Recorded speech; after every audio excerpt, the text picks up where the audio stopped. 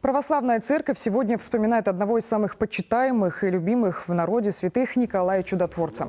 Рожденный в Малой Азии в состоятельной христианской семье, он с детства отличался особой религиозностью, а после смерти родителей полностью посвятил себя служению Богу и благотворительности. Возведенный в сан священника, Николай известен как сильный молитвенник за оклеветанных и невинно осужденных. Он же примиряющий враждующих, покровитель путешествующих и моряков.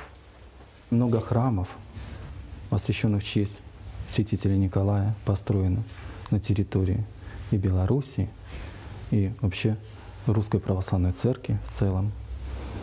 Это особо почитаемый святой, к которому мы обращаемся в нуждах даже житейских. Николай Чудотворец был избранник Божий, поэтому э, та благодать, которая, которую он стяжал, Святая Духа, она не только, как бы сказать, его именно в этой святости держал. Но кто и соприкасался с ним, значит, тоже получали э, дар исцеления.